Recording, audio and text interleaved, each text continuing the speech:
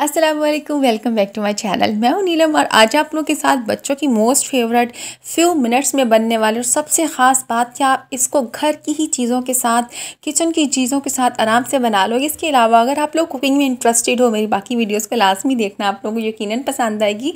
और अगर चैनल पर नहीं आप लोगों से रिक्वेस्ट है चैनल को सब्सक्राइब कर लेना बेलाइकन को लास्ट में प्रेस करना। रेसिपी की तरफ़ चलते, एक पाव मैं क्रोनी की रेसिपी शेयर करूँगी वन एंड हाफ़ लीटर या नॉर्मल टैप का पानी लेंगे गैस स्टोव को चला लेंगे वन टेबल स्पून डालेंगे salt two tablespoon cooking oil डाल दें या आप इसमें घी डाल दें।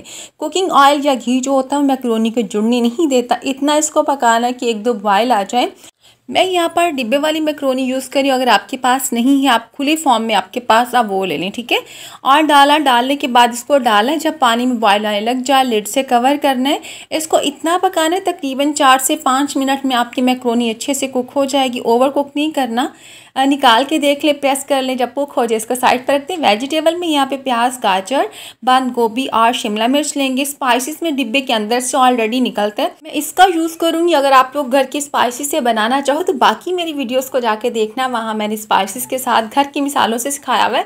मैं क्रोनी जो बॉयल कर ली थी और यहाँ पे चिकन लेंगे। Three hundred gram boneless chicken लिया, जिसको क्यूब्स फॉर्म में काट लिया। मैक्रोनी की जान माइनीस और कैचअप हमें चाहिए। और अब इसको पकाते हैं। तो पकाने के लिए पैन चाहिए कुकिंग ऑयल डाल डाला तकरीबन मैंने फोर से फाइव टेबल स्पून और चिकन को डाल देंगे। चिकन के साथ मैंने जिंजर और गार्लिक डाल दिया, उसको हम भून लेंगे। इतना भूनने के चिकन गार्लिक और जिंजर की स्मेल ख़त्म हो जाए और जो चिकन होगा, उसका कलर चेंज हो जाए। इसको पकाने के लिए, गलाने के लिए थोड़ा इसमें आधा कप पानी डालेंगे। पानी डालने के बाद इसको लिड से कवर करेंगे। जब पानी ख़त्म हो जाएगा, हम इसका लिड रिमूव कर देंगे। ठीक है? तो चिकन बहुत जल्द गल जाता है तो इसमें इतनी टेंशन वाली बात नहीं है। और ये आप देख लीजिए चिकन हमारा गल गया, पानी ख़त्म हो गया, इसमें हम डालेंगे वेजिटेबल आप सीजनल वेजिटेबल डालना चाहो, जैसे मशरूम हो गए स्वीट कॉर्न डालना चाहो, स्प्रिंग अनियन डालना चाहो, आपकी मर्सी मर्सी जो मर्सी डाल लीजिए।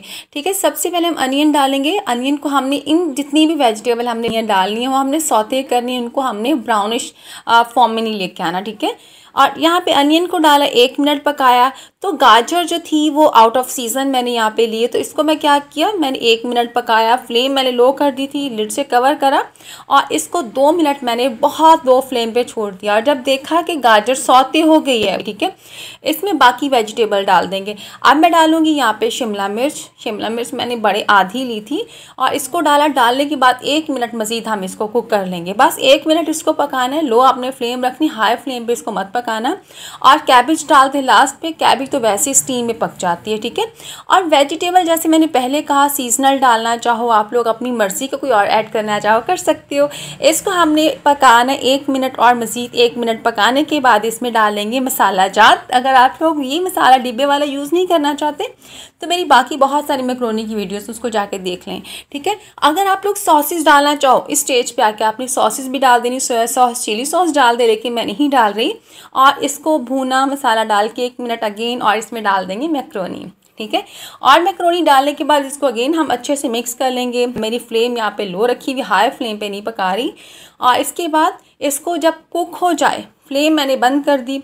इसमें मानीस डालेंगे, और डालेंगे केचप हाफ़ ऑफ़ कप डालना है, अगर आप लोग टेबल स्पून लेना चाहो फोर फोर टेबल स्पून डाल दीजिए। अच्छे से मिक्स करें, और मिक्स करने के बाद इसका आप सर्विंग डिश में डाल के सर्व करें, और इंजॉय करें। इससे ज़्यादा आसान रेसिपी आप लोगों को कहीं नहीं मिल सकती। टेस्ट आप लोगों को खूब मिलने वाला है, और इसी तरह आपने इसको एज इट इज़ फॉलो करना यकीन आप लोगों के घर वालों को बहुत पसंद आएगी। वीडियो अच्छी लगे लाइक करना फ्रेंड्स के साथ शेयर करना, अपना और अपनों का बहुत ख्याल रखना। आप लोग से इजाज़त चाहती हूँ। नेक्स्ट किसी और बहुत ही मज़ेदार वीडियो के साथ दोबारा वापस आऊँगी। इजाज़त दीजिए। अल्लाह हाफिज़।